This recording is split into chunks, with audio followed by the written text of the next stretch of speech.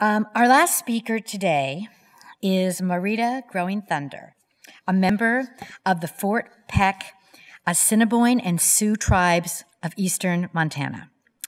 Marita is an activist, she's a leader, she's a clothing designer, and a sophomore at the University of Montana, Missoula. She was raised on the Flathead Indian Reservation by her mother, Shannon Ahhaitty. In high school, Marita designed, sewed, and wore a traditional dress every school day to honor a missing or murdered Indigenous woman or girl. She has today um, on. Uh, she is wearing today um, a dress, a traditional dress that she sewed and designed herself. She will speak to us about Save Our Sisters, missing and murdered Indigenous women and girls. Welcome.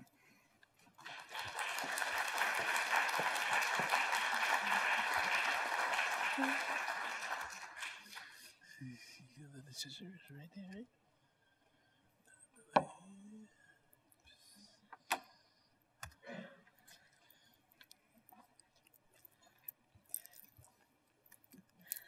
Hatso. I'm uh, my name uh, to reiterate. My name is Marita Growing Thunder, and I'm enrolled Fort Peck, Assiniboine, and Sioux. But I'm also Kiowa and Comanche from my mother's side. And I'm here to represent this project that I started in high school. I started the Save Our Sisters Missing and Murdered Indigenous Women and Girls project. Um, it originally started as a dress project. Um,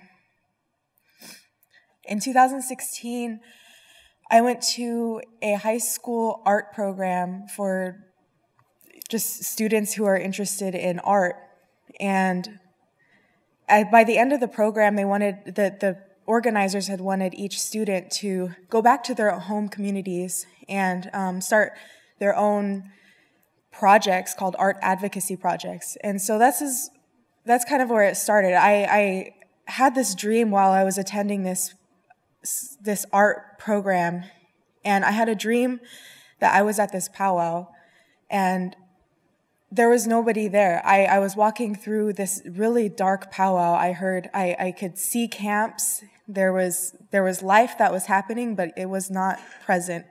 And when I got to this arbor in my dream, I just saw these dresses, and that kind of just stuck with me since that program.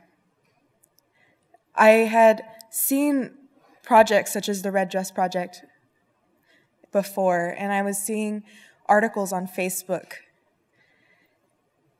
This and that was what was inspiring to me. And I talked to my advisors at this program, and they kind of were hesitant in terms of what I wanted to discuss. I called my mother, and I called my mother the very next day after I had that dream. And I remember that there was a silence between us. Her voice was really shaky, and I, I, had mentioned that I wanted to talk about missing and murdered Indigenous women. And I knew that the, the movement was already so big in Canada, but there was nothing here in the United States to really show for wanting to discuss this issue. And that silence that was held between my mother and I in that phone call, I knew that this issue had hit close to home, but we are also not alone. I had originally planned to create my own powwow to, I guess, to reenact what I had seen in my dream or but I, I did not have like the business mindset. I, I went into this art program playing the trombone. I left making dresses. but um, it all it, I, on the first day of school I, I just showed up in, in one of my outfits. My mother had helped me make a my very first ribbon skirt and ribbon shirt that or a shirt that matched the ribbon skirt. And it was the, the first time i had ever done anything like that and, uh, in terms of making a ribbon skirt or, or a, in a shirt that had matched. I kind of i didn't necessarily plan what i was going to do and how i was going to exactly follow through, or I didn't know if I should have followed through or if I was doing the wrong thing. All I know is that I was going to do it at that moment. So this is this picture. I was this. This is actually a dress that I wore at powwows to dance.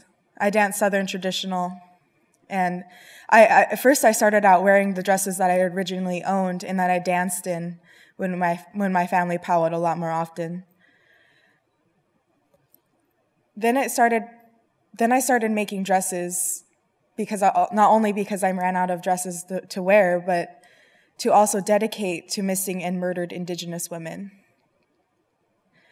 So, why I started this project, this picture is of my mother and my aunt Yvonne, who was murdered when I was eight. Yvonne was Osage, and she had two children. My mother was really close with her, and they went to powwows together.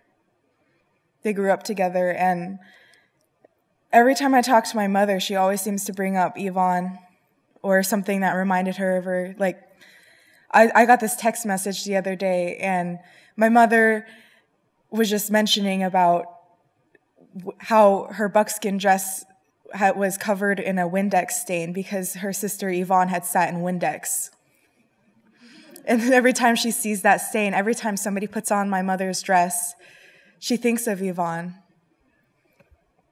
Here's some other pictures. She really loved to powwow. She really loved to dance and be with my mother. So, going back into the dedications, I started sewing my ribbon dresses. What I'm wearing today is a ribbon skirt and a top that matches. I started making these and dedicating them to each to, to a woman starting out with my family and then going into the community of the Confederated Salish and Kootenai tribes of Montana. Um,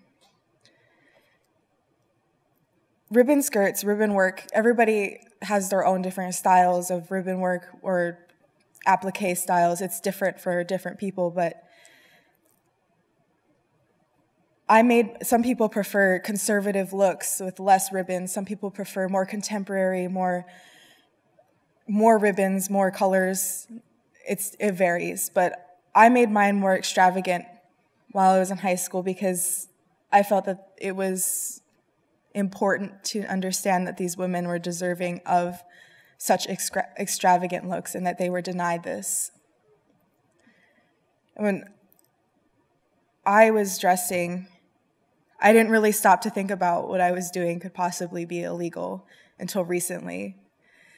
There is a House bill that just passed in Montana, uh, which mentioned that no no organization can prevent any Native person from wearing their regalia at a public event, and that was just within the last six months or so. And I didn't think about the fact that I could have been kicked out or expelled from high school for wearing these dresses. And even historically, I dressed because of the fact that my grandparents were denied this when they entered boarding school and that this was is kind of re owning the fact that I could do this now.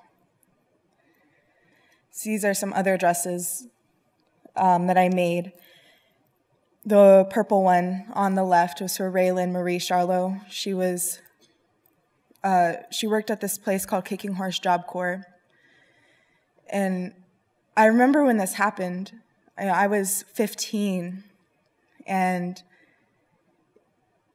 it was such a shock because my mother had had known her a little bit. She, my mother had worked at the time. She was giving out HiSETs to people who um, didn't have their high school diplomas yet, and this woman, Ray Lynn, had happened to work with my mother, and it was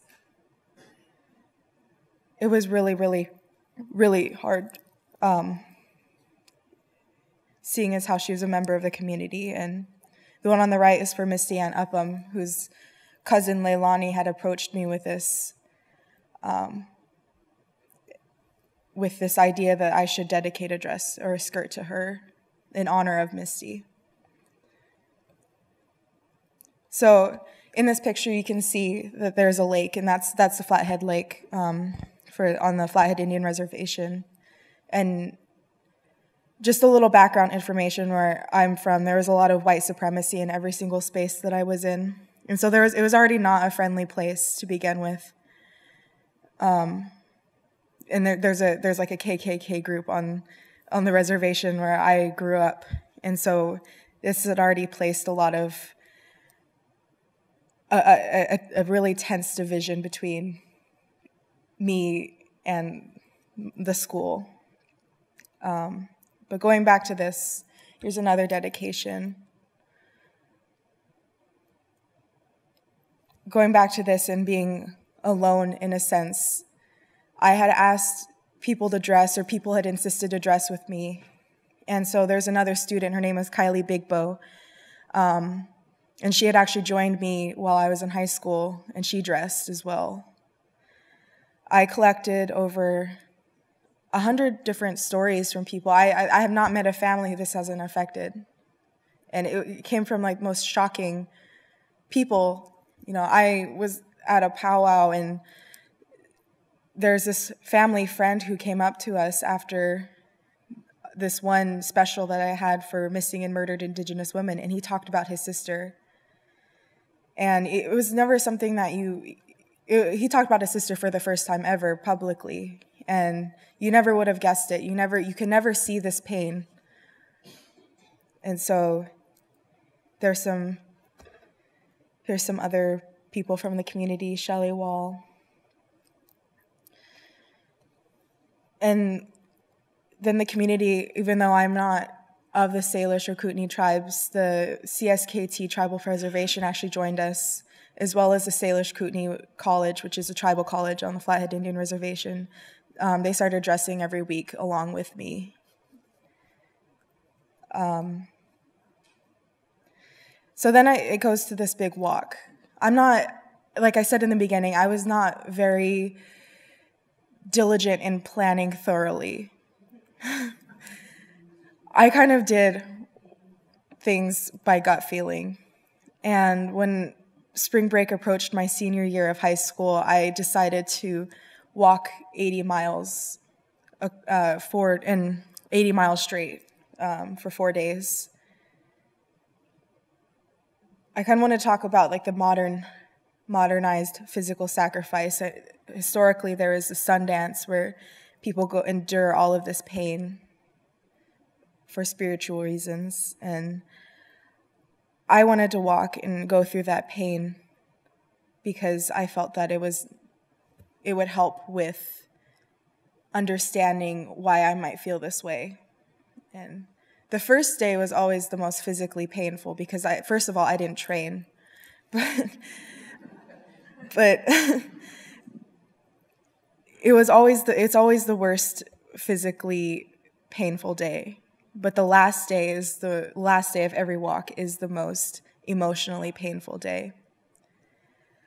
I remember after the first year on the first walk, I was able to tell my mother things that I could never tell her before. And same with her. There were people from the community who just came out and walked with us. And if they, if they couldn't walk, then we walked for them. And then, on a side note, next week, a week from today, I will be walking again for the third year. Um, so here's some community members. My best friend's mother joined us. She's the one on the left. And then there's Miss Brianna Lamb, who is an activist for missing and murdered Indigenous women.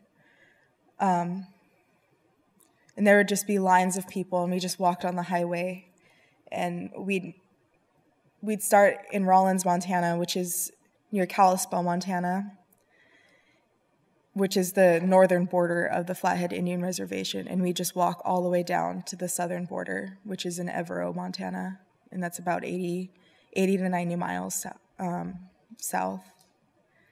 But on our way down, we'd stop at the immersion school for Salish, for Salish people, uh.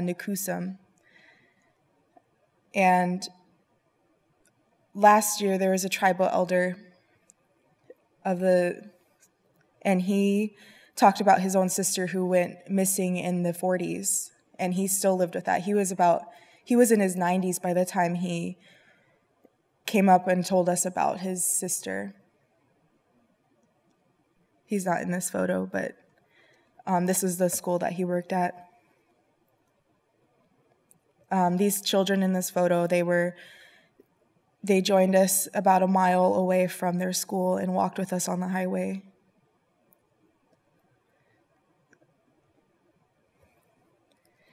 Yeah. So when doing all of this, it was just what felt right at the moment to bring up the discussion within my family and within the community. And overall in the state of Montana, I've been contacted by a few people um, to work with them in the state senate and it's right now we have Hanna's Act, which is um, a demand that Native people have a special a specialist in working with missing persons cases in Indi- in Indian country. Um, and then there's also the Confederated Salish Kootenai tribes, which is where I grew up, CSKT. They have their own special, um, they're doing their own work in terms of addressing this issue um, collectively. So in, I have a letter that my mother had wrote to her sister, and that's what I would like to do to, or use to conclude with. Dear Yvonne, it's the 4th of July, and I put my buckskin dress on Mumu. On Mumu. I had to adjust the skirt to fit her, and I was shaking it out, and I saw the blue stain on the bum. I was so mad I was so mad at you for sitting in Windex while wearing my dress, but now I touch it and remember how you cried when you gave it back to me. That's what I have left of you a blue stain on my dress. I trade a thousand dresses just to have you back. I have so much guilt for not being there. When things got hard, I didn't know. I feel so selfish for being caught up in my own world. Yours was just falling apart. I never got to say goodbye. My last memory of you is happy. Just you, me, and hope. I wish I had a way to go back and pay attention to what was happening. I'm so sorry. I miss you so much it hurts. I talked to Art about you and Glenn. My heart hurts so bad. It's so unfair. I love you more than words. For a split second, I forget that you're gone. Then I can't see through my tears. Thank you.